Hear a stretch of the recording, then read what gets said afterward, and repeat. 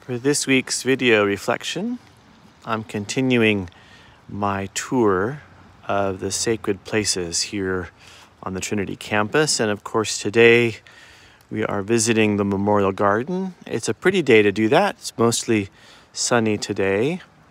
And the roses are beginning to bloom in the garden. And there's no time when the garden is more beautiful than when there are lots of roses in bloom. The Memorial Garden, of course, is a place where the ashes of so many beloved people connected to this community over the course of the years have been interred.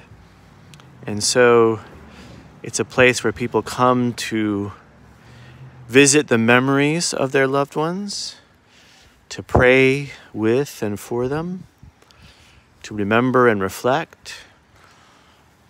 But people also come here who don't have that kind of connection to this garden, still to reflect and refresh themselves and enjoy the beauty of this space.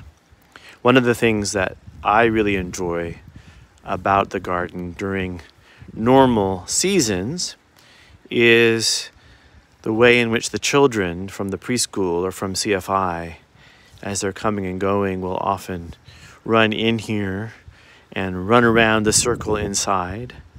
And there's just something that I think is really touching about the joy of the kids intersecting with the meaning of this garden and the love that is connected to this garden. It just seems like a, a nice complement that joy and that laughter with uh, the meaning and purpose of this beautiful space. The garden is also where we usually hold our sunrise service on Easter morning with folks gathered around. Unfortunately, we aren't able to do that this Easter, but for those who are a part of that service normally, maybe this visit to the garden today will help you to touch and appreciate the memory of those services, uh, which I hope we'll be able to do again next Easter. This Easter will be quite different, of course, but the joy of Easter will still come to us in some way, shape, or form. We're entering tomorrow the heart of Holy Week with Maundy Thursday. We'll have our Maundy Thursday Zoom agape liturgy tomorrow. Uh, you can start joining the Zoom at six o'clock, and the liturgy will start at six fifteen. We sent out links and information for that yesterday. We'll remind you of that again tomorrow, but I hope many of you will be able to join us for that unique experience of community in separate places. Good Friday, we will have our Good Friday liturgy at 7 o'clock Friday evening. Uh, Stations of the Cross video will be available soon for you to use any time that day or, or this Holy Week for that matter. 9 o'clock Saturday morning will be our very short service of Holy Saturday streamed from the church. And then Saturday evening at 8 will be an abbreviated version of the Easter Vigil streaming at 8 p.m. And then, of course, Sunday morning at 10 will be our Easter service streamed live from the church.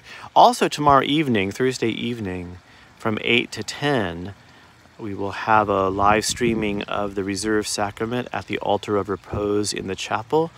For those who normally spend part of their Maundy, Thursday evening, or early Good Friday morning in vigil in the chapel, that will give you an opportunity to make contact with that tradition in this time when we have so many limitations imposed upon us.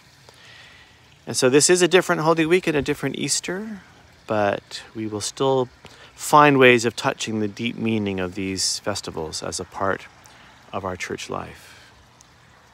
This sculpture in the middle of the garden symbolizes the Trinity, and so it symbolizes in a way the way in which everything kind of centers in this place of beauty and memory and reflection and refreshment. It's just a beautiful spot and a beautiful symbol of who we are and who we strive to be and of the connection we have with God and with each other. So here I am, here in the Memorial Garden, uh, And I hope you've enjoyed our visit to this sacred space. And I look forward to sharing Holy Week with you in this unusual season. I hope everyone's doing well. I hope you're navigating your way through this time as best you can, as we all are trying to do.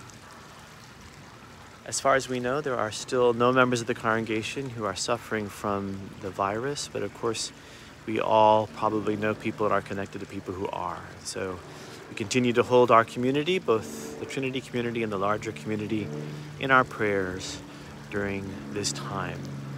And I pray God's blessing upon all of you, and I look forward to encountering you virtually, shall we say, as we continue to move through Holy Week and into Easter together. Take care, God bless, and be well.